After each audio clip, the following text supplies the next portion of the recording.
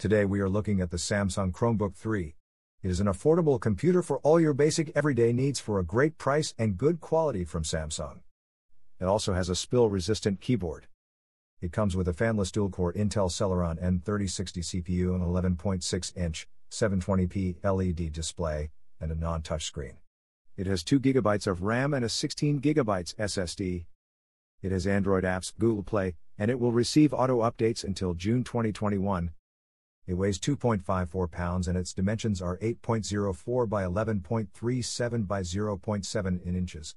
The battery has two cells and 11 hours of battery life.